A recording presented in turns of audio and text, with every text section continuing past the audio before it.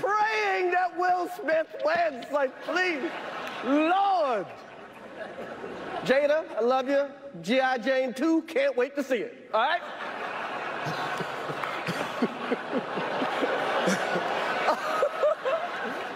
That was a that was a nice one. Okay.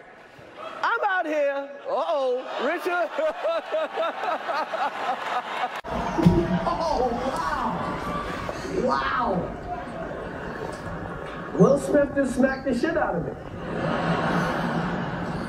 Keep my name out your fucking mouth. Wow, dude.